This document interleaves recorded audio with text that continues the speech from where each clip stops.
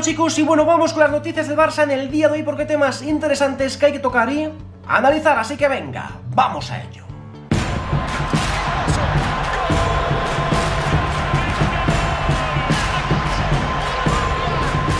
Bien, pues finalmente recordaros que abajo en la descripción del vídeo os dejo la aplicación OneFootball, la mejor aplicación en el mundo del fútbol donde podéis enteraros de cualquier cosa, clasificación, calendario, liga, jugador, lo que queráis, aplicación de fútbol muy completa que yo utilizo personalmente, por eso siempre digo lo mismo, la promoción o si no, no la haría y podéis descargarla totalmente gratis o bien utilizando este código QR o bien en el enlace que os dejo abajo en la descripción del vídeo. No os vais a arrepentir, OneFootball. Y ahora comenzamos con las noticias del Barcelona porque vienen cargaditas y ayer según Sport 3 y también Cataluña Radio y más medios de comunicación dicen lo siguiente, atención porque agarraos donde podáis, donde sea, eh, a vuestra abuela, agarraos, porque dicen Kuman cobrará 6 millones del Barça si no renueva. Desveló este domingo que el contrato del holandés esconde una cláusula relacionada con su salida de la Federación Holandesa.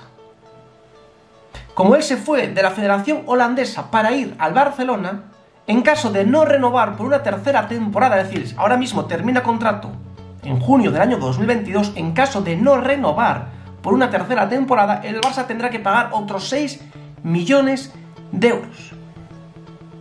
Me parece increíble. Me parece increíble. Por lo cual el Barça tendrá que pagar eh, unos 13-14 millones de euros.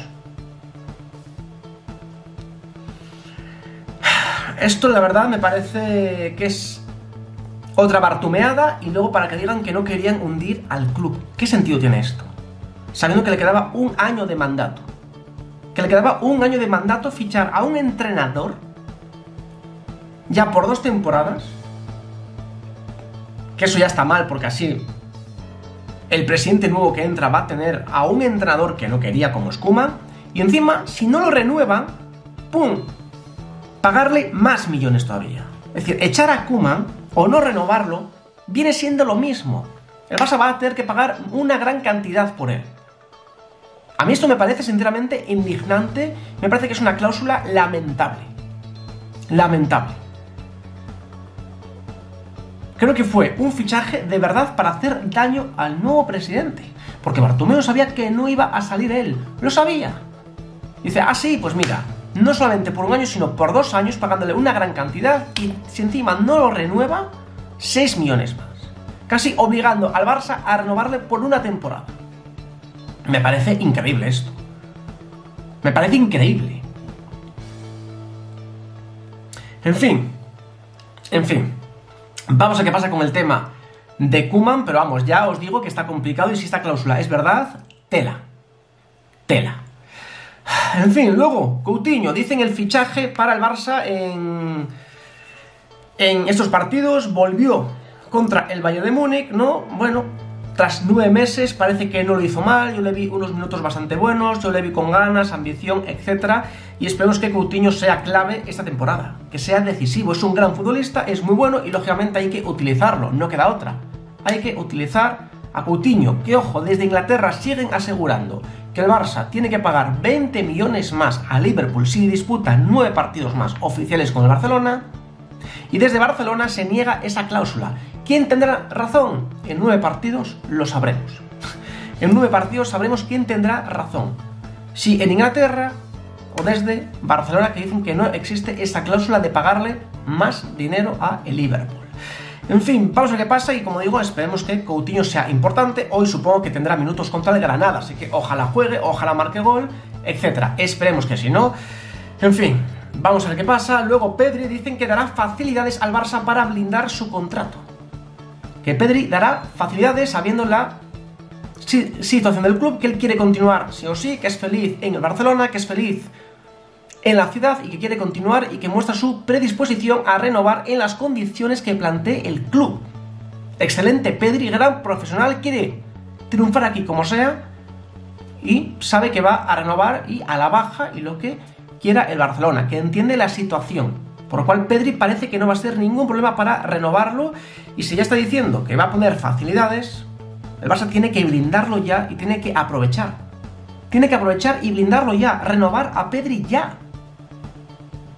Así que bueno, parece que va a haber suerte, que por lo menos no es como Ileis Moriba, que quiere dinero, dinero, dinero, y que bueno, Pedri entiende lo que pasa ahora y que ya en un futuro ganará más dinero. Bien por Pedri, como digo, eh, a mí me gusta ver a jóvenes que no solamente piensen en el dinero. Bien por Pedri, cojo.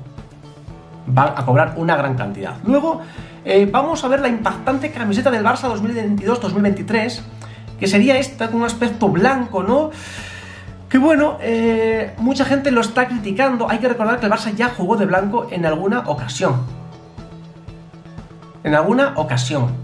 Esta camiseta gris eh, claro, es como un gris claro y en ella aparece la cruz de San Jordi. Es un diseño espectacular. A mí no me disgusta nada, repito, esto está sin ser oficial, eso es una filtración de mundo deportivo, hay que ver si con el tiempo se confirma o no, no se sabe, pero repito, el Barça ya en su día, incluso con Cruyff, ya jugó una especie de gris cielo, etcétera, que me parece que es un color bastante bonito. Mucha gente interpreta que el Barça no tiene que jugar así, porque son los colores como del Real Madrid, etcétera. En mi opinión no tiene nada que ver esto, pero eh, hay muchos rumores de que podría ser esta. De que podría ser esta la equipación del Barça la temporada que viene. Vamos a ver si tienen razón o no, no lo sé. Luego, la cláusula de restricción de Haaland la temporada que viene aseguran que es de 90 millones de euros y aparte de eso su padre y Mino Rayola requieren 20 millones en comisiones cada uno. 20 millones, por lo cual entre todo, entre la cláusula y las comisiones son 130 millones de euros solamente en eso. Luego, si quieres pagarle la ficha al futbolista que Haaland va a cobrar una cantidad muy alta, el precio va a subir mucho más. Dicen que la Porta intentará utilizar sus conexiones con Rayola, su buena amistad con el representante para intentar llegar a un acuerdo con ellos. Pero ya os digo que es complicado. O sea, pueden llevarse muy bien, pueden tener una relación excelente, pero estos son negocios y claro, si otros equipos te están dando una cantidad desorbitada, dirán, sí, sí, me caéis muy bien, pero con mi jugador me voy a otra parte. Vamos a ver qué pasa, pero ya os digo que quien quiera fichar a Haaland va a ser carísimo, ¿eh? Va a ser muy caro, va a ser una auténtica locura. Y esto de la comisión al representante de 20 millones y al padre de otros 20, a mí personalmente me parece una vergüenza. Puedo llegar a entender lo del representante. Que tenga una pequeña comisión, lo entiendo. 20 millones me parece demasiado para una comisión. Me parece mucho. Pero lo del padre, sí que de verdad se me escapa y no lo entiendo. De verdad, no lo entiendo. O sea, no me entra en la cabeza. En fin, luego el país, el país Saint sí podría entrometerse en otro objetivo del Barça. Parece que el Barça quiere a Frank Kessie, futbolista del Milan, mm, que concluye contrato y que está en la órbita del Barça, pues dicen que ya el PSG se habría metido e interesado en él. Parece que cualquier futbolista que el Barça quiera, cualquier cosa, el PSG se va a meter. Siempre, como ya pasó con Wijnaldum. Yo de verdad lo del Paris Saint Germain no lo entiendo. Yo ya paso, o sea, es que ya no sé ni qué decir, pero me parece que es impresionante ya. Increíble. Increíble, ¿eh? Que cualquier futbolista, cualquier cosa. Es que si queremos, no sé, un caramelo, va al Paris Saint Germain y dice, ¿cómo? ¿Que vale 5 céntimos? Un millón. Para mí, es increíble. Es increíble. Así que, en fin, vamos a qué pasa, pero pinta mal. Y luego, atención a lo que dice Fabrizio Romano, porque va un poco eh, vinculado a las palabras de Mino Rayola, donde dejó caer que Matisse de podría cambiar de equipo.